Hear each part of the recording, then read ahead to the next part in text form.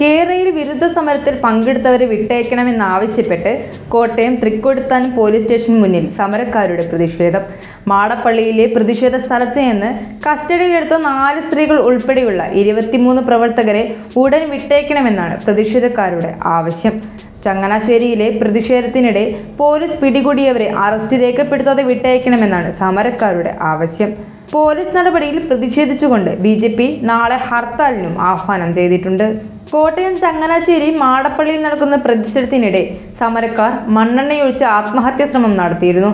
Police ഇടപെട്ടാണ് ആത്മഹത്യാ ശ്രമം തടഞ്ഞത്. മണ്ണെണ്ണയൊഴിച്ച് ആത്മഹത്യ ചെയ്യുമെന്ന് അറിയിച്ച ശേഷം മണ്ണെണ്ണ കുപ്പികളുമായി എത്തിയ പ്രവർത്തകരെ പോലീസ് ഇടപെട്ടാണ് പിന്തിരിപ്പിച്ചത്.